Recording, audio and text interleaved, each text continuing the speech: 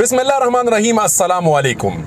وی په پیښور او غیر چاپیره علاقو کې اطلاعات داسې دي چې د ډنګي په پیښو کې ډیره بینهته اضافه شوې ده ما سره حل شته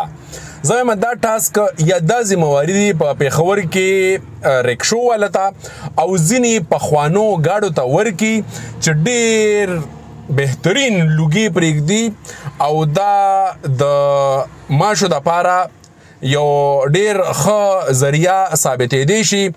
چې اسې ما دا اور داسې وي د سیادت محکمه یا نور متعلقه چې کمی محکمې دي نو په خار کې ځای په ځای سپری کوي کوم چې په نظر ناراضي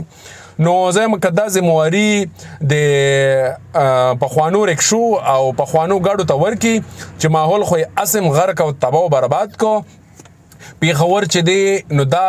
د دنیا په الوده ترین خارونو کې اوشمیرل شو نو هم ولې نه چې د دوی نه د ذمہواره او دا کار تنه هم واغستې شي نو ما شی بم نوي او دغه شان به زمونږ دا ماحول چې څنګه تبا دی نو نور بم لګ د تبای اړخ ته لاړ شي چرته دی هغه د انوایرمنټل پروټیکشن کال 2022 د پالیسي جوړونکي چې ویل به کم گاډي چې داسې قسمه لوګي پرېږدي دا غوي په ضد به کاروي کو ایس په نظر ناراضي چرته دی اغه ډله چې د کلایمټ چینج کال 2022 په نوم باندې پالیسي جوړ کړله او ویل یې چې مونږ به دا خار د خي اړخ ته بوزو کم چې په نظر ناراضي که تاسو په دې ښار کې ژوند کوئ او په دې ښار کې اوسېږئ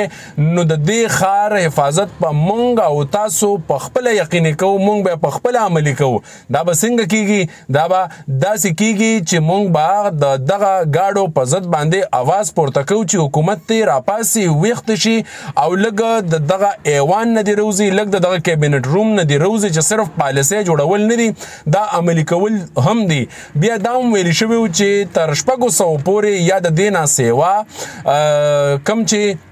د ماحول بیا خصوصي یونټ ته فورس ته هغه به جوړیږي او دغه شان به کره کتنه کوي او هغه به د ټول چې سمره یعنی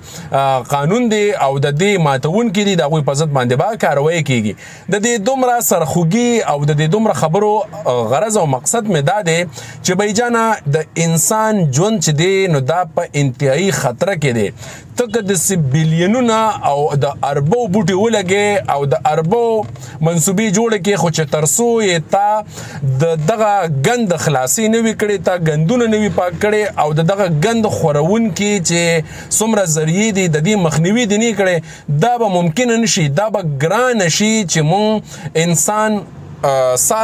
په صحیح توګه سره واخلو مونږ سا واخلو دنه مو په پیپړی چې دینو تبادی که سوک سموکینګ کوي او کنه کوي که سوک سیګریټ کوي او کنه کوي خو هغه د دغه ټول چې دی د پیپړو په مرز کې اخته دي او لاړ شي په هسپتالونو کې ریشو په خپل وګوره نو دا به کله کیږي او دا به څنګه کیږي د دې خو هیڅ معلومات لا نشته دي خو زه وایم که د دې رکشو